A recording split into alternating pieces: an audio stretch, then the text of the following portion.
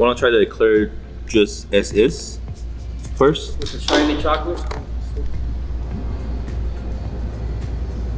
It would be awesome if this thing could pick up the, the shine. All right, let's see what happens if we spray it. Yeah. But I think that's what that's what we're looking for, huh? I think All that so. shine away. Let me see if um, the food powder also create as much frost.